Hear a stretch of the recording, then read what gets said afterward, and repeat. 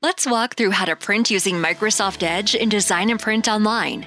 In the Print and Preview screen, we can see a view of our entire sheet. To start printing, we'll click on Get PDF to Print on the right side.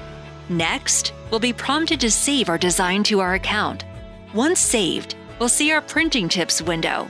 We highly recommend using Adobe Reader as your PDF viewer for the best print results. Once we select the Download PDF button, we will select Open File in the upper right and the project will open in Adobe Reader.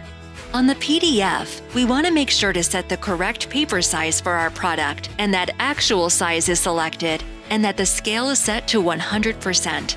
Now if we click Properties, we will change the media type to a thicker paper type option. Some printers will have a label or heavyweight setting, but this will depend on the make and model of the printer we will select the option for matte photo paper as our media type. We suggest reaching out to your printer manufacturer for the best settings. We also want to check that our paper size is correct and change the print quality to best or high quality. As a test, we recommend printing on a blank piece of paper first. Once we've printed out a test sheet, we can place it behind the labels and hold them up to the light. If the top left and bottom right labels are aligned, that's a good sign that the rest of the labels will be aligned as well. If the design looks aligned, we can insert our Avery product into the printer and repeat the print steps.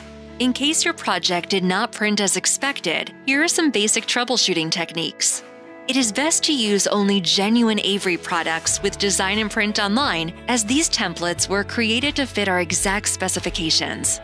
You will also want to be sure that the design template number matches the product you are using. You can find the product number on the front page of your package.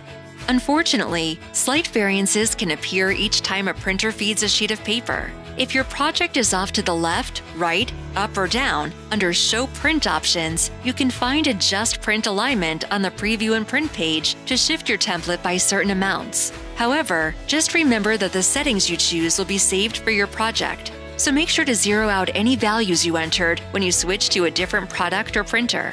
For best results, we would recommend following these general guidelines. Try to print one sheet at a time.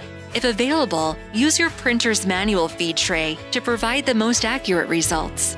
Make sure that the paper guides fit the sheet snugly. If you are using the regular paper tray, it's best to insert a small stack of about 20 sheets of plain paper below the label or card sheet to help your printer feed the sheet through.